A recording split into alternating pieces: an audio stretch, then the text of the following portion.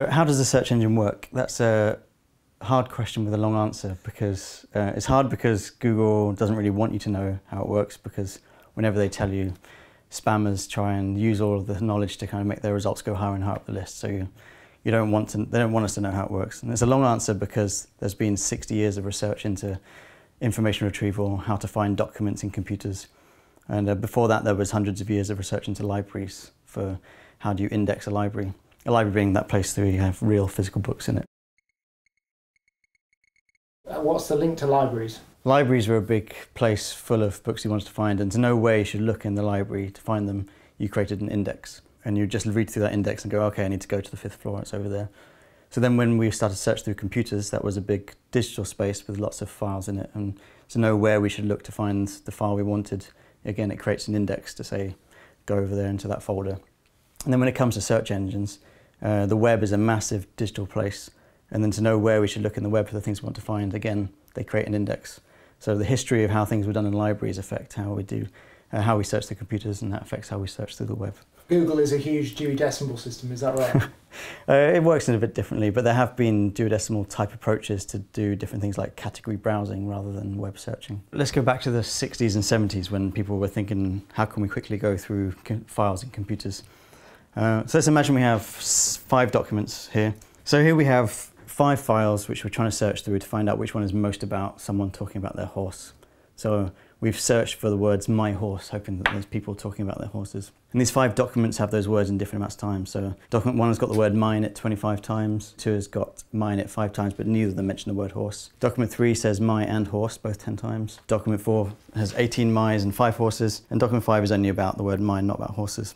And so the first thing you would do is just do term frequency, TF, term frequency, and you're measuring just how many times each word is mentioned in there. So this gets a score of 25, 5, 20, and so on, which is fine in principle, and the idea makes sense, but in this set, the word my is overwhelming everything. So in fact, document one is the most relevant one with a score of 25 because it's got the word my in it more than this one has my and horse put together.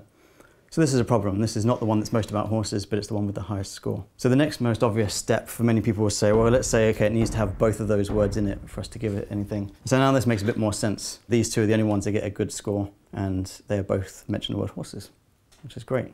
So another approach to this would have been just to, rather than say, okay, we'll do some logic and say that's the best way of doing it, we'll try a different approach where we say, why don't we undermine how important the word my is? So my is in every document, so doesn't really help us with anything. So if we just divide the score that the word my produced for each one by the number of documents it's in, then we suddenly have a much lower score for the word my. My has less of an impact. And we call this inverse document frequency.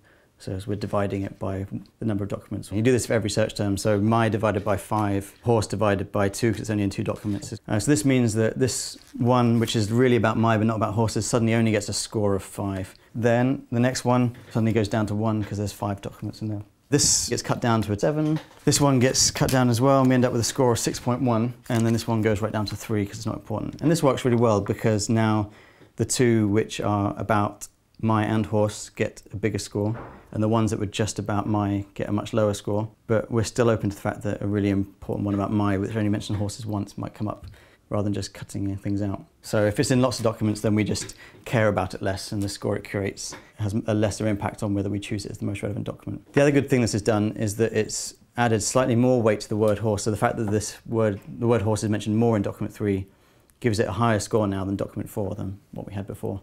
So it's prioritized the document that's more about horse as well as undermining the amount of my in there. So then what a search engine uh, has now done is it's found all the documents, decided how many words each of them is, uh, how many times each word is in there, and then given it a score and cut it down by the number of documents it's in so it's not too much, too influential if it's not important. And this is actually really easy. You can do this in 50 lines of Python. Uh, it's just not very fast. Um, so the question is, how do you make this faster? And so what they do to make this faster is they build this thing called an index, which we mentioned earlier.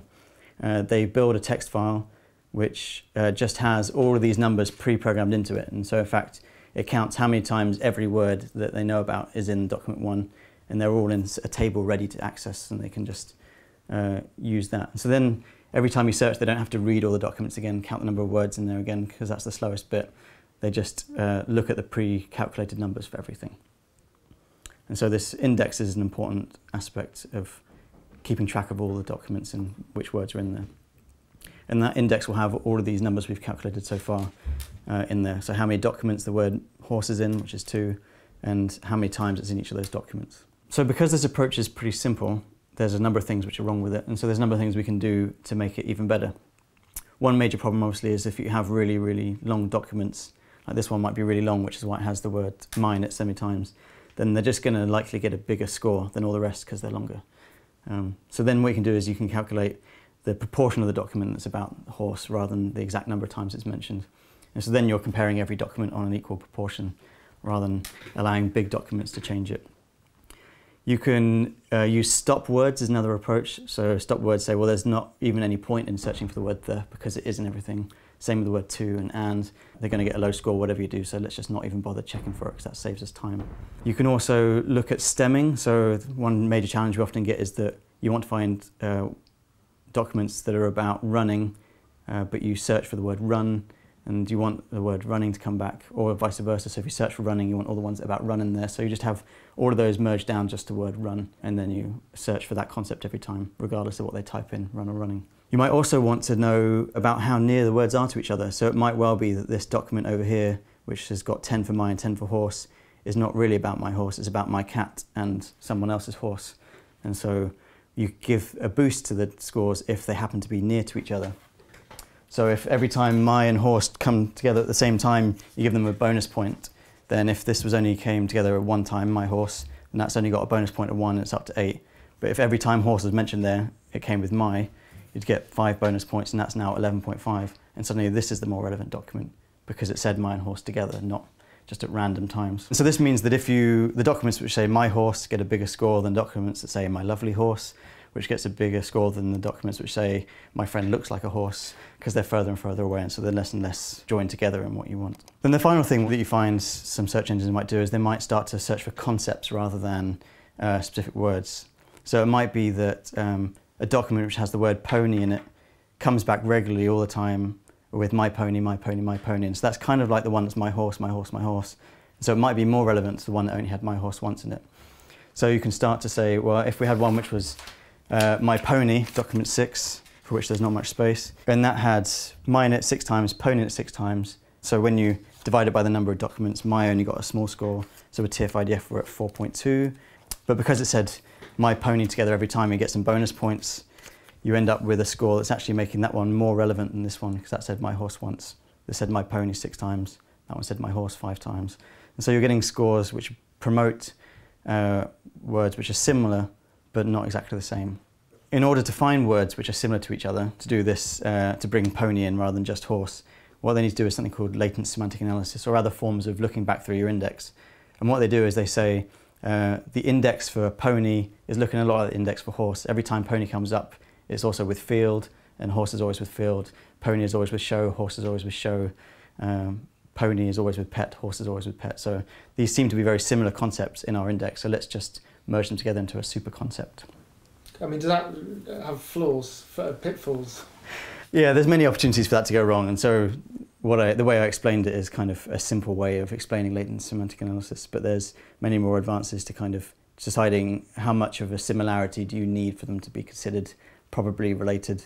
And there's other ways to consider them to be properly related. Uh, so they're similar words in a dictionary or some other thesaurus which puts them close together. Does, does a human ever get involved in this to check things or?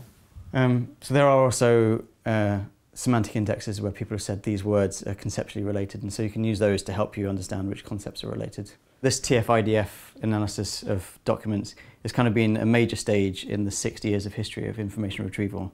And so there's a lot more I could tell you about how they've improved this. They started calculating probabilities that this document is about this word rather than counts. And so there's a whole probabilistic approach to it. There's much more complicated models about language, which we could go into. But again, we could do whole videos about those two topics. Um, so what we're really interested in this point now is how does a search engine use this type of algorithm? And is this the only thing they use? What other metrics do they use? And so what we'll go into next is analysing how search engines work and how they can uh, benefit from how web pages are designed.